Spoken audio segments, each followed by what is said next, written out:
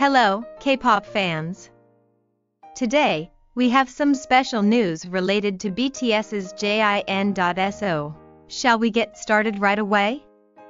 Recently, BTS's Jin was selected as the number one idol in the category of K-pop idol most desired for a blind date at the Whosfan Awards. This was based on a survey called Who's Pick, which idol would you want to go on a blind date with conducted on the global K-pop fandom platform, Whosfan Jin secured the first place with an overwhelming 79.85% of the total votes. These results were based on fan recommendations through Whosfan's official social media accounts.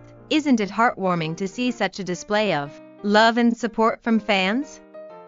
But, folks, this isn't Jin's first achievement. IN 2021, he won first place in a poll asking which idol would receive birthday congratulations at Times Square during the first week of December, with a high 50.39% of the votes. Additionally, in 2022, he also clinched the top spot in a poll asking who is the idol that always makes you smile and brightens your day. With a 37.68% vote share, Jin is known by the nickname worldwide handsome and is beloved by many fans. His impeccable looks, cheerful and endearing personality, and his great charisma have made him a globally representative idol this year. And with that, we conclude today's news.